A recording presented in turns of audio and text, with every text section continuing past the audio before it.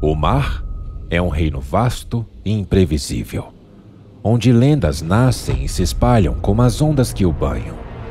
É nesse cenário que emerge uma das histórias mais fascinantes que já cruzaram os mares: a saga do Bando do Chapéu de Palha. No centro dessa narrativa estão aqueles que desafiam as convenções e desbravam o desconhecido. Os Chapéus de Palha, liderados pelo intrépido Monkey de Luffy e sua tripulação, cuja lenda cresce a cada porto que tocam.